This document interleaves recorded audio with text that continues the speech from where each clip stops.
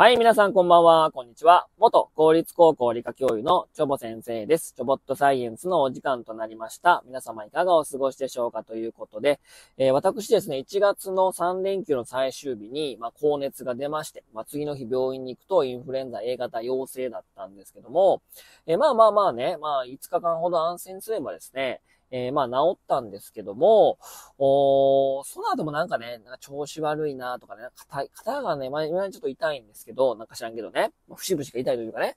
えー、で、皆さんね、こういう経験ありませんか？風邪ひいた後、まあ、確かコン、インフルエンザになった、コロナになった、アレスウイルスになったとかっていう後に、まあ、他の症状はもうないんやけど、咳だけが止まらない。咳だけ出るみたいなね。まあ、そういった辛い経験ありませんか？で、今日のお話なんですけども、風邪ひいた後に、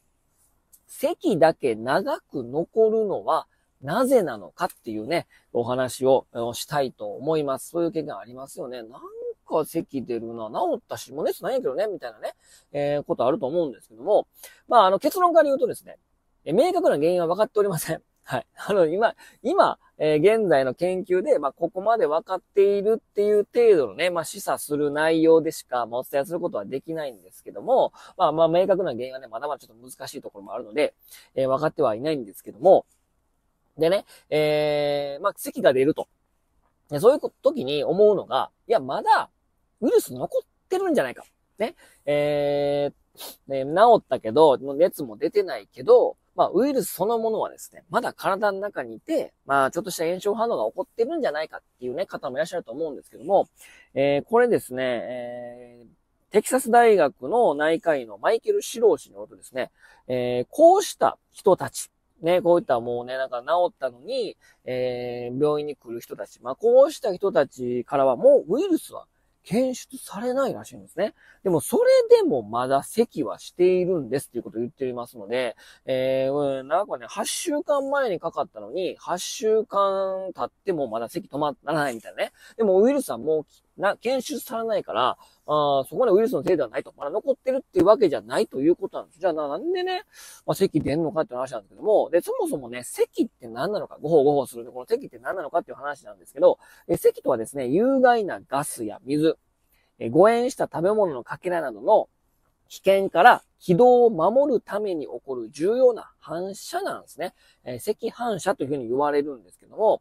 えー、このね、赤反射っていうのが、まあ、その軌道を支配する神経によって引き起こされるんですね。神経によって咳するしないっていう感じになるんですけど、まあ、スイッチオンオフになるんですけど、で、これらの神経にはですね、冷たい空気から唐辛子の辛味成分であるカプサイシンまで、ありとあらゆる物質に反応する受容体タンパク質が分布してるんですね。で、えー、受容体がこう刺激されるといろんな物質でですね、その刺激が瞑想神経を介して脳に信号を送り、私たちに咳をしろっていうね、こう指令を出してるわけなんですよ。だから咳をしたくなると。なんか変なもの食べたとかね、なんか詰まったりすると、あっってなりますよね。もうそれは反射で起こってるんで、えー、瞑想神経を介して脳にシグナルが行って、咳をするっていう行為にね、なるわけなんですね。うん。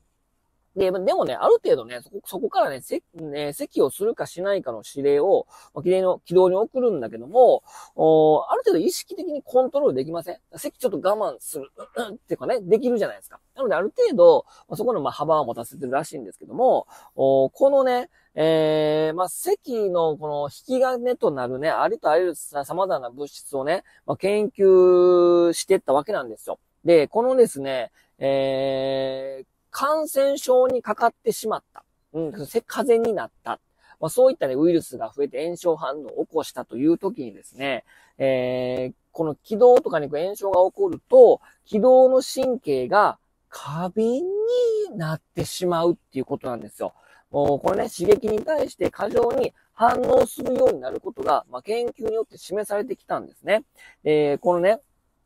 この気道の神経が過敏になっていると、例えばこう深呼吸をしたり、電話で話したり、笑ったり、寒い屋外に出たりといった有害でも何でもないことでも一時的に咳が出てしまうことがあるということなんですよ。感染症にかかった後だとね、この気道にある神経がより過敏になっちゃって、何でもないことでも、まあ、咳の咳したいっていうシグナルがオンになってですね、もう咳しちゃうとえー、いうことなんですね。で、えー、研究者たち、まあ、研究者グループたちはですね、えー、この軌道に関するね、えー、研究をしている研究グループによると、1990年の時点で、モルモットをインフルエンザ用ウイルスに感染させると、軌道の神経の感受性が高まって、こう人間のように咳をすることがもう分かってたらしいんですね。で、えー、まあ、感染させたモルモットはカプサイシンなどの刺激物質にさらされると、健康なモルモットよりも激しく咳をすると。こういうことがもう研究段階でも分かってたんですね。もうこれも人間でも一緒ですよね。でさらにね、2016年にはですね、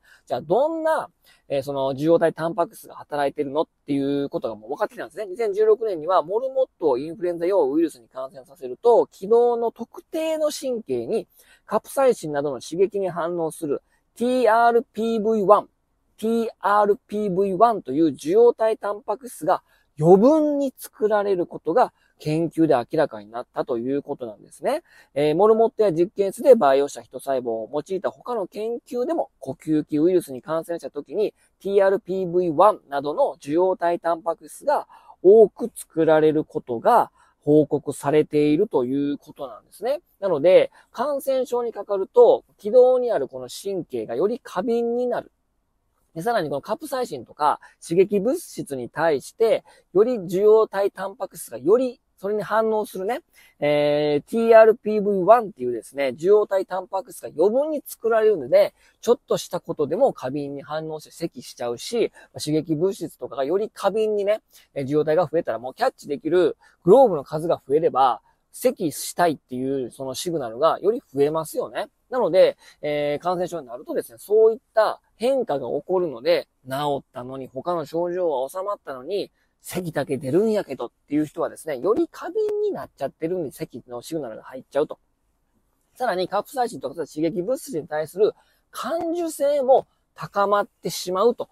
まあ、いうことなんですね。まあ、モルモットのね、まあ、実験例なので、まあ、そのまま人間に置き換えることはなかなかね、まあ、難しいのかもしれないけど、まあ、同じ哺乳類ですから、なので、まあ、ね、治ったのに咳が続くっていう事例がですね、まあ肌感覚でね、我々も経験したことあるから、まあ同じような、モルモットと同じようなことがですね、置き換えて言えるんじゃないのかなって、まあ人を培養した細胞でも起こってるから、まあそういった変化がこの軌道内でね、まあ起こってるっていうことはですね、まあ否定できないことなのかなと、まあ言ったところなんですね。だから感染症になっちゃうとね、まあ過敏慢になって、まあそれだけね、免疫反応がね、まあ働いてくれていると、まあ正常に働いてるっていう、くれてるっていうことはですね、割とね自分の体にとってはポジティブなことかもしれませんけど、まあ咳って辛いですからね。えー、ということでですね、なんで風邪ひいた後治ったのに、なんでまだ咳出んのっていうね、えー、お話をしました。まあ、そういったね、気道のね、神経が過敏になったりとかですね、まあ、刺激に対する受容体のタンパク質が増えるということが、今の研究で